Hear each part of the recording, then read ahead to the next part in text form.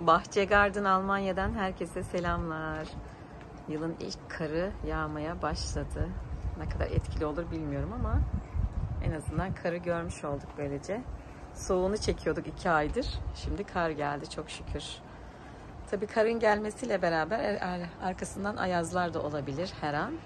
O yüzden ben de balkondaki çiçeklerimi yavaş yavaş artık içeri almaya karar verdim. Tam da böyle güzel güzel de açmışlardı.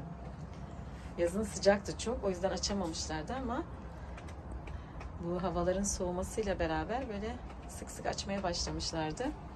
Ama ayazdan her an yanabilirler tabii ki.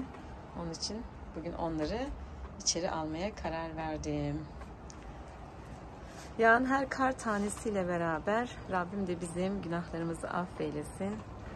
Nasıl ki bu kar taneleri böyle bembeyaz yere düşüyorsa Rabbim de bizim günahlarımızı birer birer düşürsün. Bizler de tertemiz olalım inşallah diyelim.